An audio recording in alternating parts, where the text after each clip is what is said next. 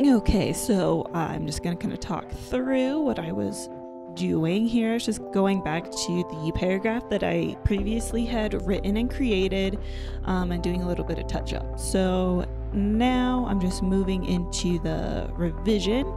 And again, this is sort of like a script. Know what I was thinking I would say if I was in a recruiting position. So I definitely started out with the things that I love to do to help, you know, this imaginary recruiter understand and frame sort of me as an employee and what I want. Um, then, you know, I just went back to the original paragraph and pulled out some of the important parts. So, talking about how, yeah, I hold these degrees, which this recruiter is going to look at my resume, so I didn't need to sort of waste time um, with the specific degrees, just letting them know that I do have those um, basic technical qualifications for the career that I was really talking about and discussing. Then I threw in, you know, a quick example from one of my internships. Um, so that was just kind of what I am writing out now.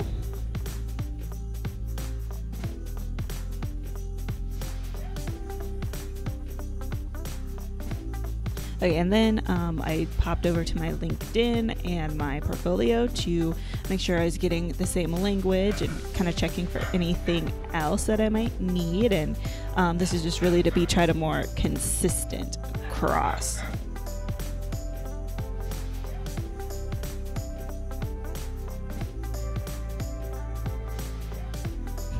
okay, so now moving on to the elementary day. So, of course, this is a different audience. Um, and so I need to. Oh, and there is looking up what what ten year olds are there in fifth grade.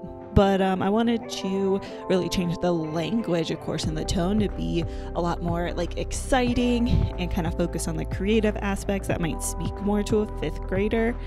Um, you know, talking about like stories and, and characters, and really, you know, emphasizing the things like the videos and the articles. Um, you know, obviously, I didn't lay down the specific degrees that I have because fifth graders don't care or really necessarily know about majors and programs. So I just kind of focused on like, hey, I had to keep going to school, um, and here's kind of the classes that I took. So that one was pretty quick and easy because you don't need to spend a lot of time being technical with a fifth grader. And then lastly, for the acquaintance, kind of the same idea as I did with a fifth grader. Um, you know, it's keeping it pretty like vague in general because again, in this sort of social and party situation, uh, you know, nobody is really that interested in specifically what you do. So I wanted to try to keep it, you know, to just kind of the fun, broad things. Um, so now I'm opening Grammarly, so definitely make sure to download that and you kind of see how it works. That similar to just like the word checker, uh, red underline is something that's misspelled, green is grammar. Um, here I'm just kind of editing and adding a few extra things in. Talking about, you know, what I value, especially with that curiosity piece on my, my LinkedIn. You know, talking about how I really want somewhere that will send me for more professional development. Again, to help recruiters place me better. You know, and some of the grammar things, um, just like any other spell checker, Grammarly is not perfect, so you need to make sure to go back and kind of use your own principles and thoughts.